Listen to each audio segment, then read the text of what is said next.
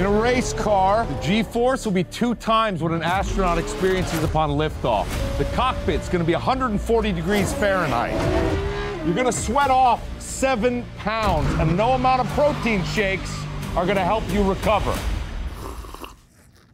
You're scaring them. Went to Cancun like I told you, dog. Gran Turismo, based on a true story. In movie theaters August 11th. Watch the NBA Finals on ABC. Ooh, this is fun as hell. You're going 10 miles an hour.